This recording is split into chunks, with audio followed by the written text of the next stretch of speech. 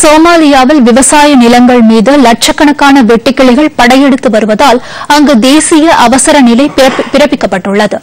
ஆப்பிரிக்க நாடான சோமாலியாவில் வெட்டுக்கிளிகள் படையெடுத்து வருகின்றன. இந்த வெட்டுக்கிளிகள் விவசாய பயிர்களை கடுமையாக தாக்கி அழித்து வருவதால் பெரும் பாதிப்பு ஏற்பட்டு வருகிறது. ஏற்கனவே வறுமையால் உணவு கிடைக்காமல் அந்நாட்டில் லட்சக்கணக்கான மக்கள் பாதிக்கப்பட்டுள்ள நிலையில் எஞ்சியுள்ள பயிர்களையும் வெட்டுக்கிளிகள் நாசம் செய்து வருவதால் மக்கள் பெரிதும் பாதிக்கப்பட்டுள்ளனர். லட்சக்கணக்கான அளவில் வெட்டுக்கிளிகள் பெருக்கெடுத்து வருவதால் அவற்றை கட்டுப்படுத்த முடியாமல் சோமாலிய அரசு திணறி வருகிறது.